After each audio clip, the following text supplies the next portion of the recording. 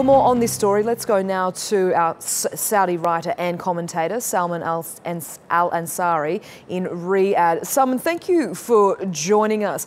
Uh, it, it might be a stretch to say that Iran is now an ally of the United States, but the relationship does seem to be stronger than, uh, than ever before, really. So, what impact does this have, if any, on the Saudi US relations? And also, what's been the reaction to this nuclear deal where you are?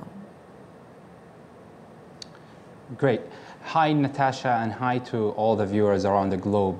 Um, it's very important to mention the fact that Saudi Arabia and the GCC countries are all at any global efforts on eliminating the nuclear um, uh, weapons um, uh, potential of, uh, of um, uh, Iran, which is a great step. But at the same time, which, what has been um, a worrying factor or what was um, a, a, big of a concern for us as Saudis is the fact that um, the, the global powers, specifically the United States, is not taking crucial actions regarding um, uh, the support of the militias.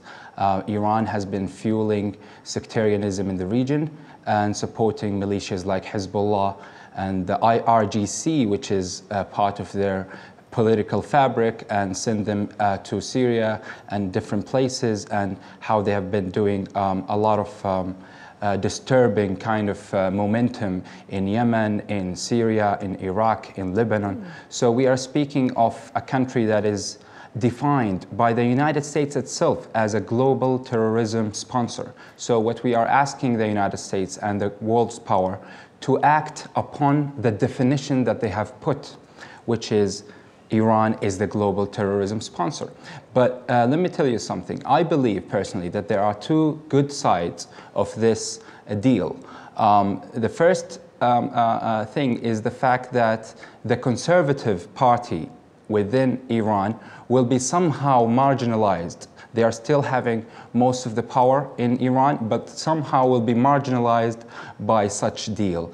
And the second good or positive outcome out of this um, uh, uh, Iran deal is the fact that um, um, um, um it will be somehow uh, trying to moderate uh, the political fabric within Iran, which is a good step. And I think Obama is very optimistic about this. We are not very, very optimistic about it, but we think it can be um, um, a good step in the right direction. But the two negative sides of such deal is the fact that it has never mentioned anything of the support of terrorism, of how Iran has been uh, fueling uh, uh, the region with sectarianism. And we are worried and concerned of the frozen uh, uh, um, uh, money, the frozen assets of the Iranian regime.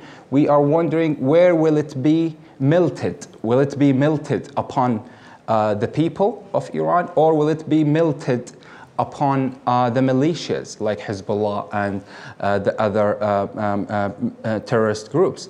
And we are pretty sure that they will somehow take a huge portion of the frozen assets to, uh, and, and have it melted upon their militias. That's an issue. So we need some red lines from the world's powers regarding this. But real red, real red lines, not like the one that has but, been put you, in, would have to, uh, with the chemical weapons. Salman, you would have to agree that Iran has complied with every rule that's been put in front of them to the letter. Uh, they've decreased their nuclear capacity by 98 percent. Uh, wouldn't you have to commend them on this?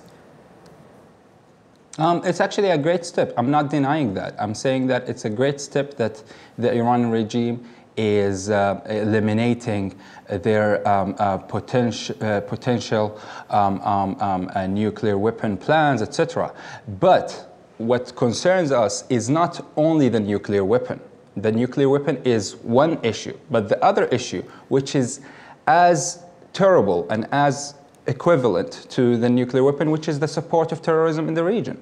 We cannot tolerate with yes. um, um, uh, a country that, that spread um, its think, militias I, in the region. So I, that's why. I, yeah. uh, sorry, I don't mean to cut you off there, Simon. I, I, understand your point there, uh, sure. which you have made on the frozen assets and the potential for terrorism there.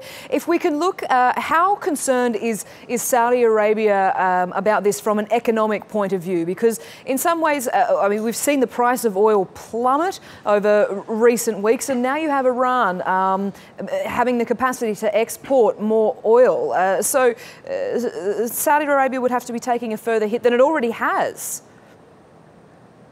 Uh, let me tell you something. I think there is a, a huge exaggeration on this specific theme uh, in the media. Uh, let me tell you why and how. But um, a write down of 98 a write down of 98 billion dollars to your GDP isn't an exaggeration, though. That's a fact. No, let me tell you, yeah, I will mention to you numbers. Saudi Arabia is the second biggest producer of oil in the world. The first is the United States with 14 million barrel per day in 2014, and Saudi is second with 11.6 million uh, barrel per day.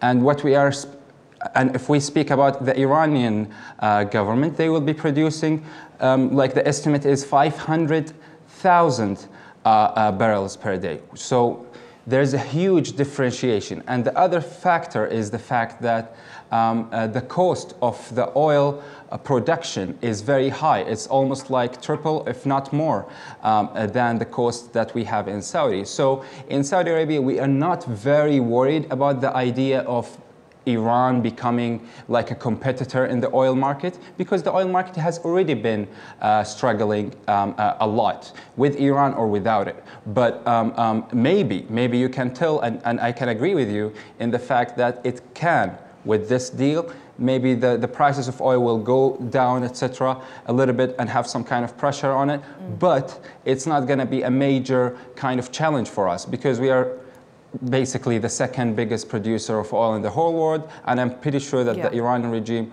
will need um, not only a decade or maybe three decades to, to improve their refineries and become um, um, an economic power in the future. But okay. At the moment, will, I don't think uh, Salman, I do apologise for interrupting you again. We will have to leave it there. Unfortunately, we are out of time. Thank sure. you so much, Salman Al Ansari, for joining us Thank from you. Riyadh.